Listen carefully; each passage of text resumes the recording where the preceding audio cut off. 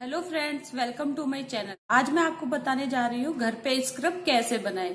चलिए शुरू करते हैं। इस स्क्रब का मेन इंग्रेडिएंट है बनाना। बनाना हमारे स्किन को बहुत अच्छे से हाइड्रेट करता है और ये है एक बहुत अच्छे एंटी एजिंग का काम करता है, जो कि अगर हमारे स्किन पे रिंकल्स हैं तो उनको दूर करता है।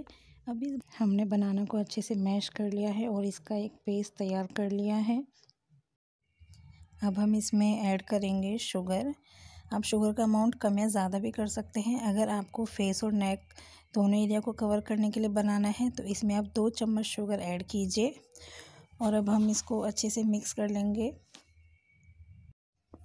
अब इसका थोड़ा सा अमाउंट लेकर मैं आपको हाथ पर लगा कर दिखाती हूँ। इस तरह से देखिए सर्कुलर मोशन में मूव करते करते दो से पाँच मिनट के लिए स्क्रब करेंगे अपने फेस और नेक पर।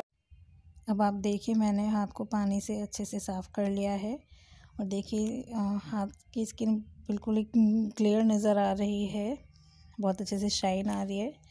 मैं ये एडवाइस करूँगी, प्लीज़ आप इसको एक बार ज़रूर इस्तेमाल करके देखिए। बहुत ही अच्छा स्क्रब है।